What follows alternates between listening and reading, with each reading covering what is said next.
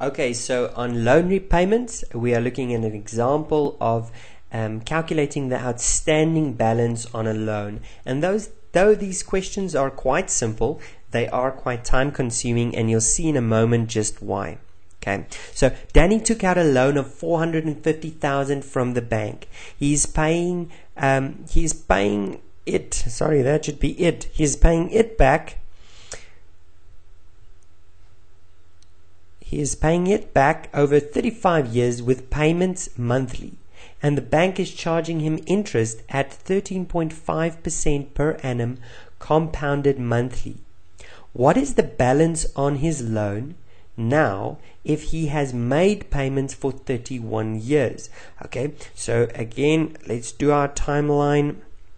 Here we go from 0 to 35 years. Okay. So here we have the years in between, and we are here somewhere at 31. Okay. And what's important is that we make monthly payments, okay, every year. So put in as many, uh, as much information as you can on this timeline. 30.5% per annum. Okay. Uh, do we know what his amount is that he's paying back? Let's see. Do we know? No we don't know what the amount is that he is paying back. Okay, so if we look at our formula, Pn is equal to x 1 minus 1 plus i to the power negative n over i. Okay, we can see here that we know what the original value is. But we want to use this formula, this same formula, to find out what will the value be here. Okay? What will this value be at right here? And to do that, we are first going to need to calculate x. So that's going to be our first step, calculating the monthly amount that he has paid back. Okay, so we know that he took out a loan of 450,000 Okay, so the present value is 450,000. We don't know what his repayment amount is.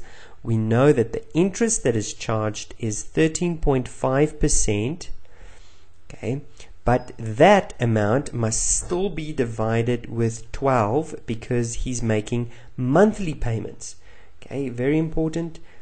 He is making payments monthly. So we know there's 12 months in a year, so he's getting interest not at 13.5%, but at that divided by 12. And also divided by 100 because we're working in a percent there. Okay, so how many payments is there going to be in the total 35 years? So right at the beginning here, we are owing 450,000 Rand, okay, with how many payments left? So that's the question we should ask ourselves. N represents how many payments are left. And that's 35 times 12. And that is what? 7 times 6 is 420 payments. So in 420 payments left. Now let's go and calculate. So we have 450,000 is equal to x is unknown 1 minus 1 plus 13.5 over 1200 to the power of negative 420. All of that divided by 13.5